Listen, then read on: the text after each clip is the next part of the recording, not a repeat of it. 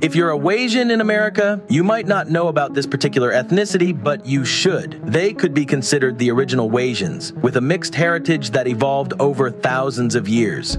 In the West, Wasian usually refers to someone of mixed European and East Asian descent, like someone who's half Western European and half Chinese. But there's a strikingly similar mix that's existed for over a millennium.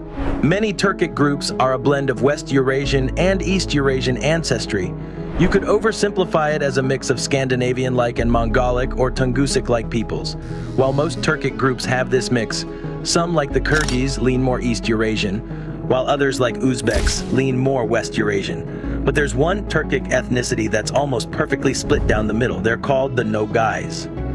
Today their population is relatively small, and they're spread across a vast region, from western Kazakhstan all the way to Romania. And here's what they look like, for reference.